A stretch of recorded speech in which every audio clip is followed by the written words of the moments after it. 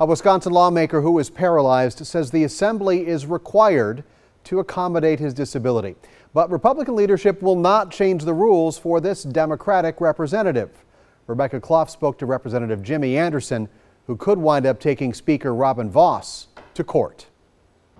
Representative Jimmy Anderson was the lone survivor of a drunk driving crash in 2010 that left him paralyzed from the chest down. Now Anderson says a rule put into place by the Wisconsin Assembly this session discriminates against him. The people in the 47th Assembly District they elected me. They they're paying for me to be in the legislature. They want me to do my job. Representative Jimmy Anderson says that job is in jeopardy because of a rule put into place by the House Assembly this year.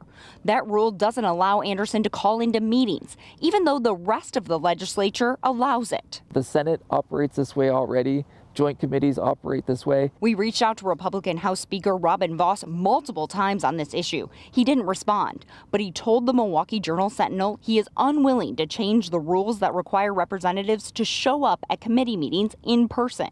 He went on to say he thinks it's disrespectful for the person who comes to testify to get asked questions over a speakerphone. There's no reason why we shouldn't take advantage of all of the technology that we have to make sure that all individuals with disabilities feel like they can be uh, a part of the process. Representative Anderson says he's considering legal action in order to get the rules changed so he can represent his district every day. It's made my life more difficult and it's made it harder for me to be a representative.